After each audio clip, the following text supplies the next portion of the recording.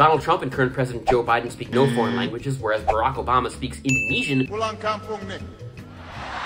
George W. Bush can speak Spanish, although he's quite shy about his abilities. No quiero destruir un idioma muy bonito. And Bill Clinton is fluent in German. Berlin ist frei! But to encounter some truly polyglot presidents, we have to turn the clock back a little bit. Thomas Jefferson, for example, claimed that he learned Spanish in only 19 days during a trip across the Atlantic with just the help of a copy of the famous Spanish novel Don Quixote. Looks like I'm not the only one who likes using clickbait. In fact, most 19th century presidents spoke Latin and or Greek, which were common to study in school at the time, and often French or German as well. The only US president known to have spoken an Asian language apart from Barack Obama was Herbert Hoover, who spoke Mandarin Chinese from a stint in China along with his wife, and they would speak Chinese with each other when they didn't want to be understood.